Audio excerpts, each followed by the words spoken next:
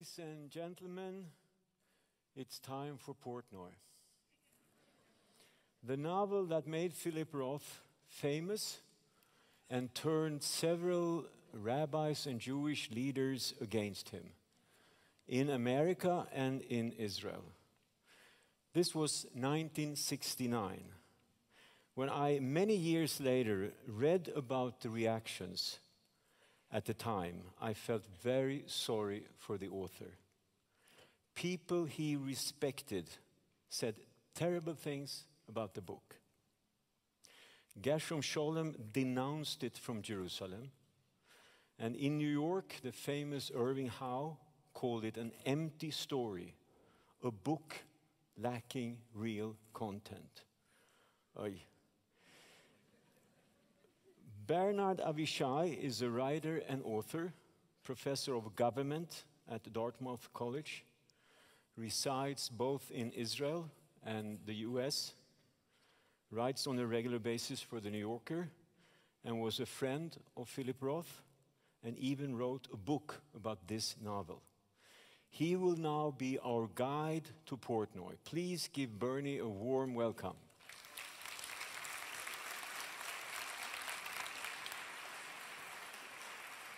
And it was a sensation. It was an experience unlike any I was ever to know in the future, and unlike anything that had happened to me in the past. Because this was a scandal. Nothing in my education prepared me to be a scandalous writer. I thought I was going to be a serious writer. But the moment I became comical and freewheeling in this way, I became a scandalous writer. This hero is not just some miserable wretch writhing in his lusts. He is the Jew avenging himself of his upbringing in a Jewish home, which has become detestable to him, by going out and laying shiksas, thereby freeing himself from the nightmare of Mama. This is the book for which all anti-Semites have been praying. I dare say that with the next turn of history, this book will make all of us defendants at court. We will pay the price, not the author who revels in obscenities.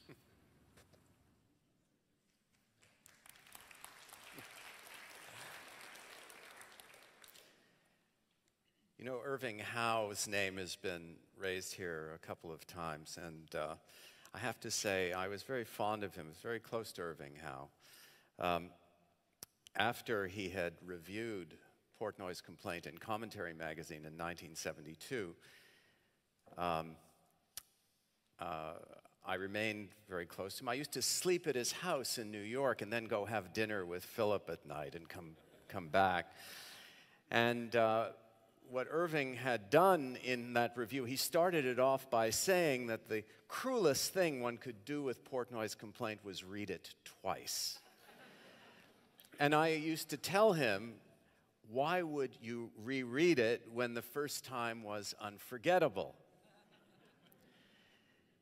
And back when the book was published, exactly 50 years ago, I knew people who sat around in coffee shops and student unions and living room floors reading the entire book out loud to one another. Its characters became instant archetypes. Sophie, especially Sophie, the monkey, my father, cousin Heshie, Rabbi Warshaw, Dr. Spielvogel. We laughed and teased and blushed. Only Portnoy wasn't laughing. Who in the history of the world has been least able to deal with a woman's tears? My father, I am second. He says to me, you heard your mother. Don't eat french fries with Melvin Weiner after school. Or ever, she pleads. Or ever, my father says. Or hamburgers out, she pleads. Or hamburgers, she, he says. Hamburgers, she says bitterly, just as she might say Hitler where they can put anything in the world they want and he eats them, Jack. Make him promise before he gives himself a terrible tsura and it's too late. I promise, I scream, I promise, and race from the kitchen. To where? Where else? I tear off my pants furiously. I grab that battered battering ram to freedom, my adolescent cock. Even as my mother begins to call from the other side of the bathroom door, now this time don't flush. Do you hear me, Alex? I have to see what's in that bowl. Doctor, do you understand what I was up against? My wang was all I had that I could call my own.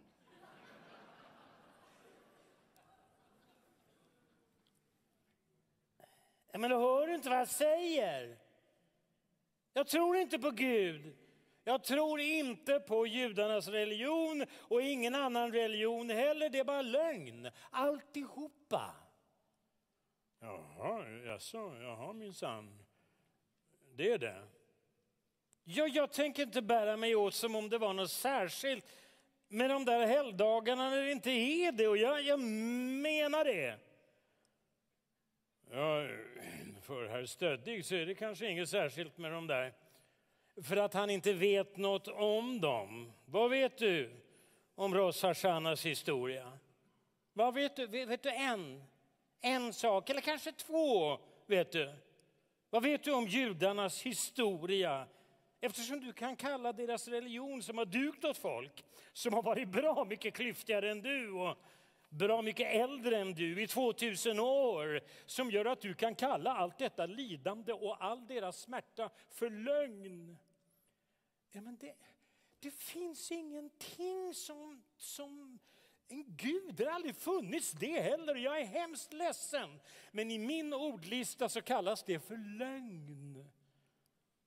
Jaha, men, men ehm, vem var det då som skapade världen, Alex? Frågar han föraktfullt. Det råkade, ja, den råkade väl bara bli till då om jag, om jag får tro dig. Alex, säger min syster. Det enda pappa menar är att även om du inte vill gå med honom så kunde du väl i alla fall byta kläder. Men varför då, skriker jag. För någonting som aldrig har existerat. Varför ber ni inte mig gå ut och byta kläder för ett kattkräks eller ett träds skull? Ja, de existerar ju åtminstone. Den, eh, den lärde allvetaren mm, har inte svarat på min fråga än, säger far. Försök inte byta ämne. Vem skapade världen och människorna? Mm? ingen? Ja, just det, just det, pappa. Ingen. Åhå, kan man tänka sig, säger far. Det är snillrikt, väldigt snillrikt. Jag är glad att jag inte har gått i high school, om det är så snillrik man blir av att göra det. Alex, säger min syster och mjukt som hon brukar mjukt, för hon är redan en smula knäckt hon också. Om du bara kan ta på dig ett par skor. Men du är ju lika knasig som han är, Anna. Om det inte finns någon Gud, vad spelar det då för roll med skorna? En enda dag, en enda dag om året ber man honom om en tjänst, men det är han för märkvärdig för. Så är det med den saken, Hanna. Så är det med din bror, hans respekt och hans kärlek. Äh, men pappa, nej, nej, nej, men han är en bra pojke, pappa. Han har visst respekt för dig. Han tycker ju visst om dig. Och judarna då? Mm? Mm? Hur, hur är det med judarna då? Nu skriker han och fäktar med armarna eftersom han hoppas att det ska hindra honom från att brista i gråt. Ordet kärlek behöver nämligen bara viskas i vårt hus för att allas ögon redan ska börja svämma över. Judarna, har han någon respekt för dem? Va? Lika mycket som för mig, precis exakt lika mycket. Och plötsligt ilsknar han till. Han vänder sig mot mig med en ny och lysande tanke. Skulle min högt bildade son vilja tala om för mig vill du tala om för mig en sak? Vet du någonting om Talmud? Vet du någonting om historia? Ett, tu, tre, så var du bar mitzva och det var slutet på all religionsundervisning för din del. Vet du, vet du att det finns sådana som studerar den judiska religionen i hela sitt liv och när de dör så är de ändå inte färdiga. Så tala nu om för mig, du som är helt färdig med judendomen nu när du är 14. Vet du ett enda dugg om sagan? Om ditt folks underbara historia och arv? Redan rinner dock tårarna ner för kinderna på honom och flera är på väg från ögonen. Stort A. Stort A i skolan, säger han. Men när det gäller livet, då är han lika okunnig som den dag han föddes. Nu, nu, nu tycks det det tycks som om tiden till sist är inne. Så jag, jag säger det. Det är någonting som jag har vetat sedan en tid tillbaka. Jag säger det. Pappa, det är du som är okunnig. Du, pappa! Tack.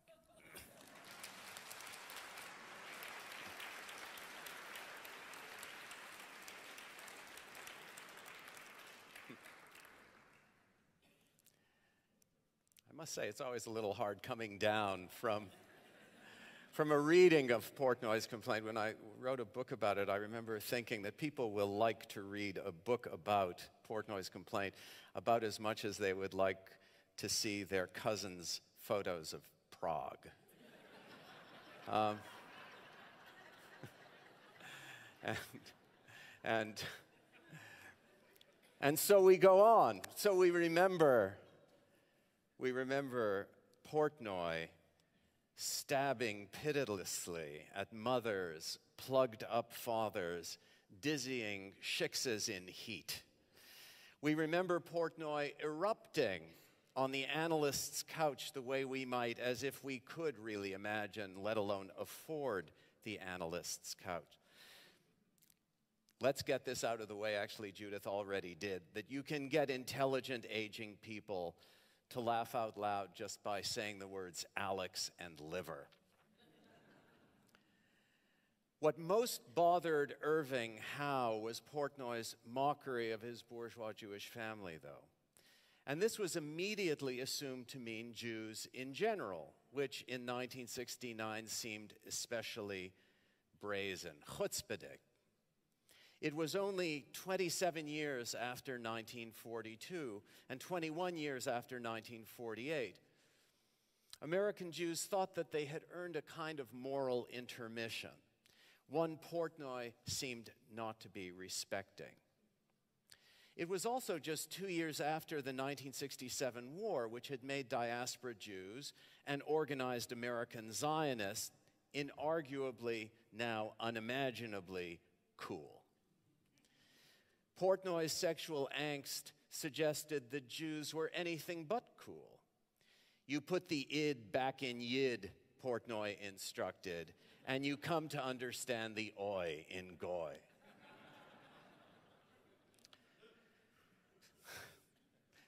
so Roth, through Portnoy, seemed the satirist par excellence, particularly of the American Jewish community. I mean, Portnoy had such a mouth on him, so subtle, so schmutzig.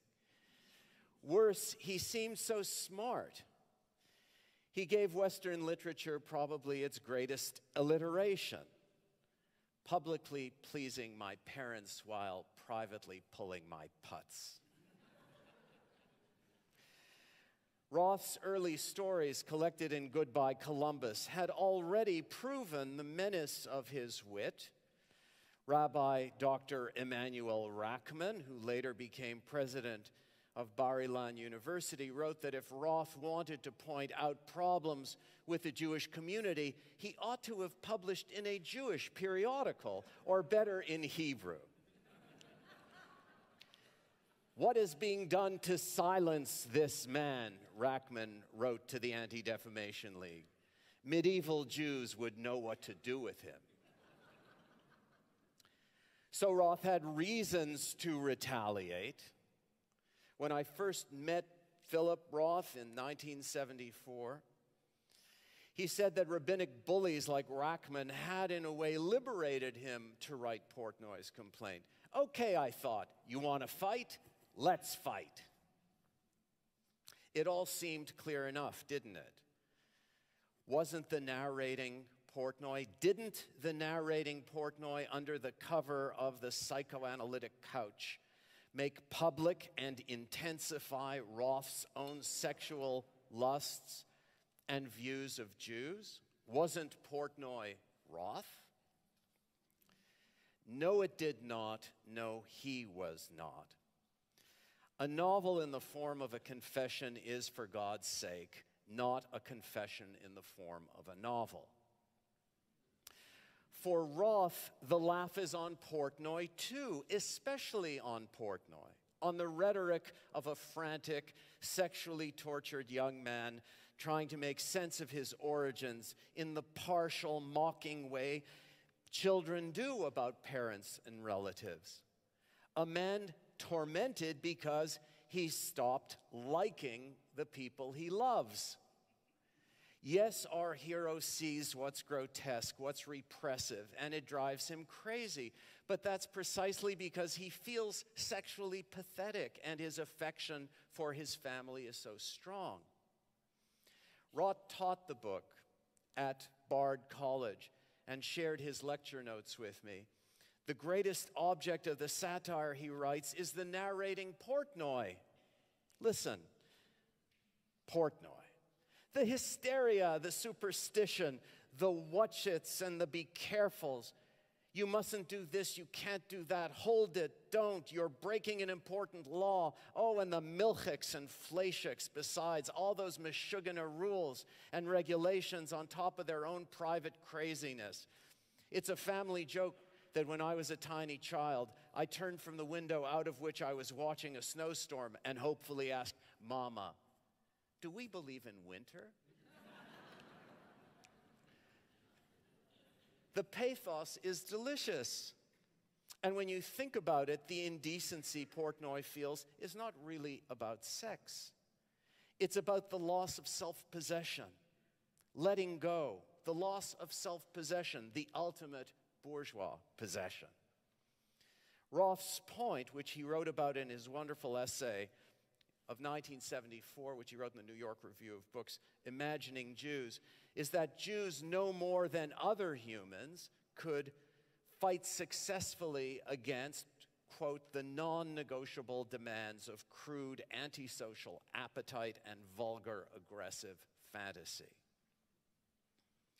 Portnoy's honesty seemed indecent because American Jews had become something like the poster children, the, the exemplars, the poster children for the kind of restraint and public decorum that the word bourgeois conveyed. In post war America, Hollywood served up images of Jewish lawyers and doctors, big shots, who keep their heads while others didn't. Who else but Jews might show the way?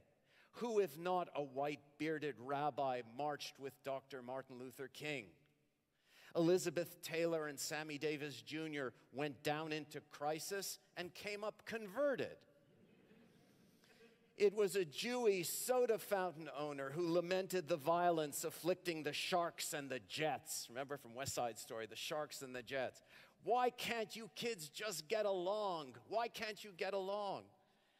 Jews controlled themselves so well, partly because they had been a scorned minority and had learned to ingratiate themselves, but also, as little Alex had intuited, because Jews had a religious culture that could seem a divine restraining order.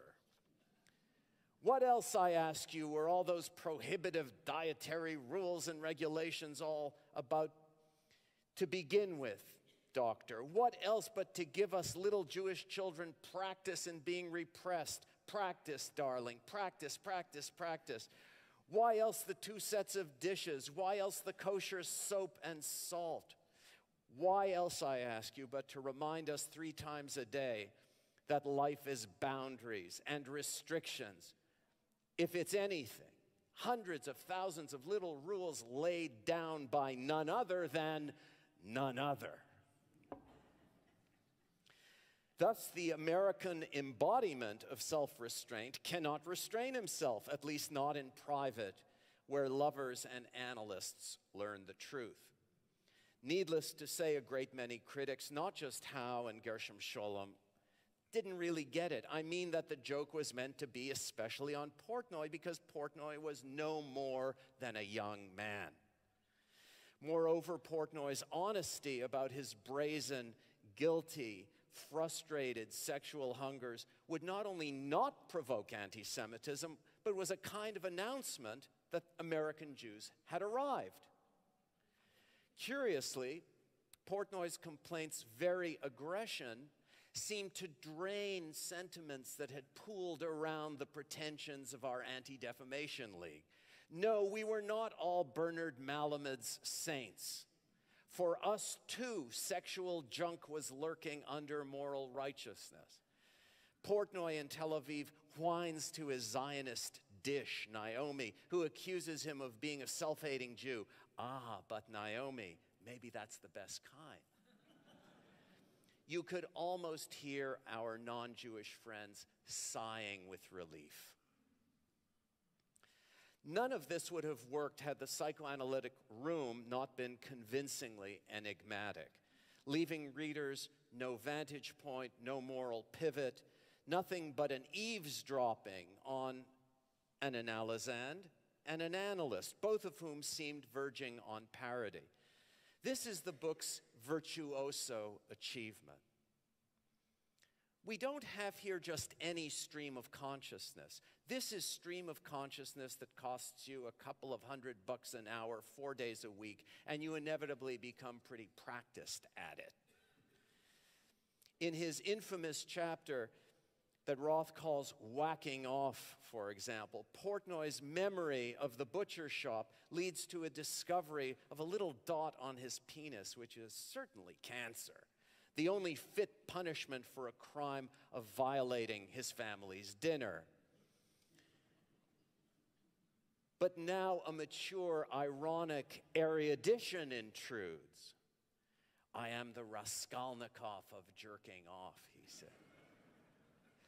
My God, Portnoy asks, what is freedom and what is merely shaking the bars, and so on. You start with the grievance you see, then move to the fantasy of retribution, then to guilt, and then to an original childhood fear. You dwell on the fear, and then, in a tribute to the safety of the couch, move to sadness. As you search for the sources of sadness, you uncover memory, which provokes feelings of poignancy, of loving connection, then hunger, then erotic charges, then loss, then a new or putatively new grievance. You start with pain, burrow into dirt, get to memory, and end with motive. There is nothing really free about the associations here. One thing leads to another because, at least in psychoanalytic terms, each thought follows from the other. Roth presumed an audience familiar with the rhythms of the psychoanalytic project, so he let things rip. He also presumed you knew psychoanalytic theory and therefore how Portnoy's Jewish family made things all topsy turvy. Oedipus complex? My God, the knife is in mommy's hand. The superego comes as a low voltage father who cannot stop struggling with his bowels. The angst persists well beyond infancy because the son is preferred over the father. The only thing worse than Oedipal tension is Oedipal victory. And community only colludes in this inversion.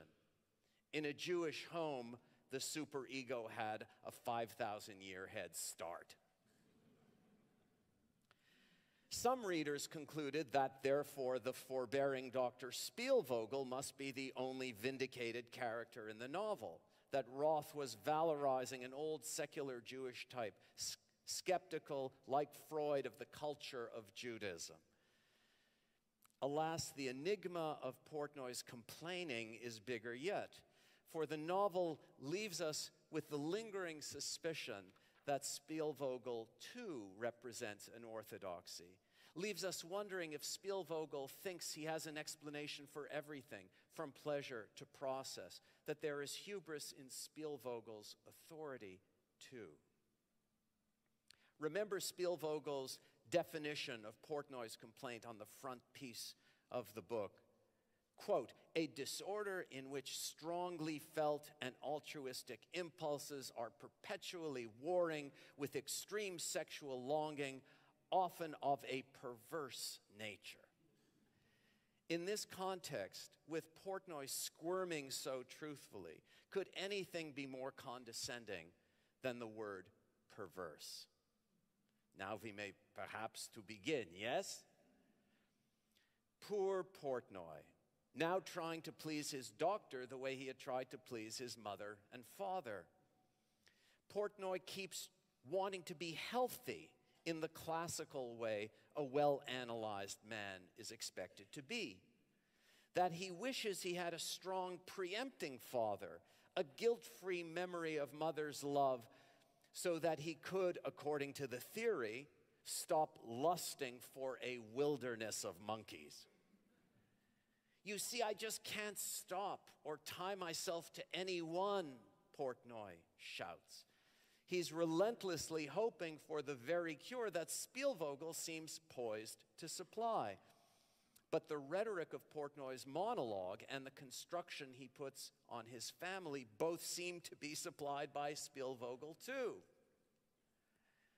Not coincidentally, Roth told me he had just finished an analysis with a psychoanalyst quite like Spielvogel, whom Adam knows rather well, who tried to persuade Roth that narcissism was the source of his art and his domineering mother and weak father were the source of his narcissism. Philip told me it frustrated me terribly because his characterization of my mother and father was so false. But he gave me a good idea. This was a better family to use than my family. And that's around the time, he says, I went to Iowa to teach writing, where I had a disproportionately high number of Jewish students. And again, they'd write about this folkloric Jewish family tough mother, weak father. Their stories may have been true in their detail, but never mind. The stories were organized around this folklore. I said, Fine, you want this Jewish family? I'll give it to you. Portnoy's complaint at its deepest is thus meant to explode the idea of the psychiatric perverse, the psychiatric normal. Roth told me once you take the categories of illness and health seriously, then you are leaving the atmosphere of this book. Then you are beginning to impose another vocabulary and a foreign, alien vocabulary on this book. Of all the orthodoxies undermined in Portnoy's complaint, psychoanalytic orthodoxy may be the most insidious because it's the most hidden. Spielvogel is also a weaver of fictions, but to write fiction well, Roth implies, you first have to acknowledge that you're doing it at all. Portnoy's complaint left us laughing and queasy and talking. Can you really say this? Is this also me? Was the doctor really right? The joke was on everybody parents, lovers, Jews, patients, analysts, which is another way of saying it was on the act of reading itself. We get things wrong, he says. Somewhere else, he writes. We get things wrong, and then, after careful consideration, get things wrong again. Der Mensch tracht und Gott lacht. Men strive, God laughs. And so, though I know I should be pitied for saying this, although Adam kind of opened the door to it, I consider Portnoy's complaint something like the culmination of the 60s in America, a decade of advancing civil rights, a decade of awakening to, liberals, to liberalism's full implications. Why? Because we were supposed to be judged, said Dr. King, not by the color of our skin, but by the content of our character. And the trailing insight of Portnoy's complaint was that judging character was not going to be as easy as it sounded. Character is made of enmeshment, like the Jewish family, and is described by fictions like psychoanalysis. Portnoy's complaint aimed to prove liberalism's largest, most precious moral claim that all orthodoxy is suspect. That precisely because language and experience are relative, the principle of tolerance must be absolute. No text is sacred, only the right to interpret texts is sacred. At the end of his life, Roth insisted that he himself could not reread, Portnoy's complaint. But he was being too hard on his younger self. The book was a milestone in a life's work. That work would show us, ironically, how little a work our lives are. Thank you.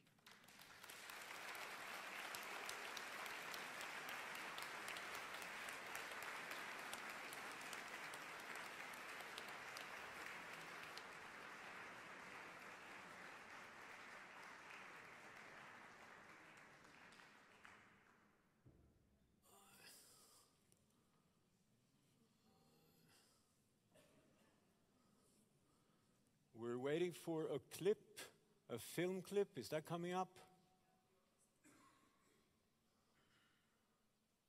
We're waiting for the orchestra.